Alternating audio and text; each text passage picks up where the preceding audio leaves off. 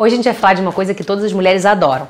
Cabelo, unha, pele, essa parte de autoestima da gestante que pesa bastante e que costuma ser uma queixa bem importante. Vamos começar com a acne, porque na verdade o que eu tenho para dizer para vocês da acne é que eu não tenho nada para dizer.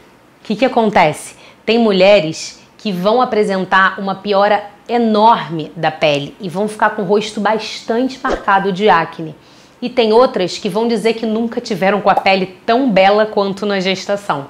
E a gente não tem como saber quem vai responder mais de um jeito ou mais de outro. A gente acredita que as mulheres que tenham uma tendência à acne acabem piorando na gestação. Mas a gente não tem uma certeza disso. É um quadro extremamente variável. Vai de mulher para mulher, de gestação para gestação. Então eu vou ficar devendo essa para vocês. Agora um outro ponto que também acontece bastante, todo mundo quer sempre saber. Mancha na pele. Quem nunca ouviu falar de melasma? Melasma é uma hiperpigmentação que acontece no corpo todo, mas que nas grávidas é bem clássico aqui na área do rosto, sabe? Aquela asa de borboleta mais escura que as mulheres apresentam. O que, que é isso e por que, que isso acontece? A gente também não sabe direito. Mas a questão é, os hormônios da gestação, e a gente acredita que o estrogênio seja o problema nisso, até porque pacientes com anticoncepcional às vezes também se queixam do aparecimento dessas manchas, por isso a gente pensa no estrogênio como causador. Ele acaba escurecendo, ele faz com que os melanócitos, que são as células que produzem a cor, tem pessoas mais branquinhas, tem menos melanina. As pessoas mais morenas têm mais melanina e os melanócitos da gestação acabam tendo uma produção maior de melanina.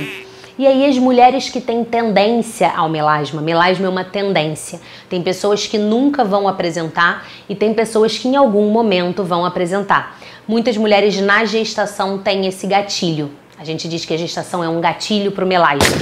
E o que, a gente pode fazer para evitar que isso aconteça? Filtro solar. O filtro solar é essencial para gestante, porque o melasma é extremamente induzido pela luz. E não é só a luz do sol que eu estou falando, é a luz da tela. É o celular, o iPad, a televisão, o computador, é a luz fria, a luz fria da sua casa, da cozinha, do consultório. Toda essa luz, toda essa radiação que a gente está recebendo, ela pode deflagrar melasma. E o filtro solar vai proteger você dessa radiação. Isso garante que não vai aparecer? Não garante, mas diminui muito a incidência. Então, se você tem uma coisa que você pode fazer pela sua pele na gestação, é usar filtro solar. E eu não posso dizer o mesmo do creme hidratante, gente. Eu sei que todo mundo quer sempre saber sobre isso. Vamos prevenir a estria e toma banho de óleo e toma banho de hidratante. E o que, que eu posso dizer para vocês das estrias? Não é o hidratante que vai te garantir que você não tenha. Eu não estou dizendo para você não usar. Eu acho que usar o óleo, usar o hidratante é um momento de autocuidado excelente. Te dá prazer, te dá um momento só seu, te dá uma sensação de toque muito boa, mas ele não vai te garantir que você não vai ter estria. A estria é uma tendência de pele, ela é uma tendência genética. Mulheres que têm tendência, mulheres que têm um tipo de pele vão ter mais chance de estria. E por que, que a gravidez é um momento tão marcante para isso? Porque na gravidez você tem um estiramento da pele. Então é uma sobredistensão, um fator mecânico, associado com um fator hormonal da gestação. Tem algumas gestações que a gente diz que tem mais risco de apresentarem estrias. Por exemplo, gestações em que a mulher ganha muito peso, porque a distensão da pele fica maior ainda.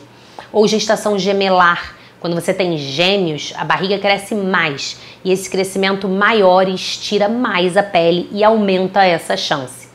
Mas por que, que eu estou falando da estria? Isso é sempre uma questão, toda vez que a gente discute com dermatologistas sobre isso, a gente sabe que não é o creme que vai ajudar. Mas por que, que a gente sempre bate nessa tecla?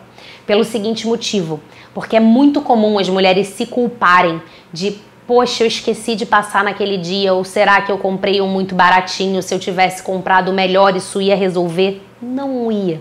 É uma tendência sua. Você se cuidar é ótimo, você se cuidar é excelente, mas as estrias podem acontecer e não se culpe por isso. Não foi nada que você deixou de fazer que, vão que vai fazer isso não acontecer. E o cabelo? Ah, cabelo. Quem não adora falar de cabelo, né? Mulher e cabelo estão ali, ó. O que, que a gente espera do cabelo na gestação? Vamos lá. Na gestação em si, a gente espera que ele fique bem, fique ótimo. As mulheres costumam dizer que o cabelo para de cair na gestação. Isso tem uma explicação. Os hormônios da gestação fazem com que o fio do cabelo pare em uma fase. O cabelo tem várias fases: a fase que ele cresce, a fase que ele fica estacionado e a fase que ele cai, tá? Isso é normal. Na gestação é meio que um stop nessa parte do fio quietinho. Então você tem uma diminuição de queda de cabelo enorme. E as mulheres costumam dizer que os cabelos ficaram lindos e maravilhosos na gestação. Só que aí vem o puerpério.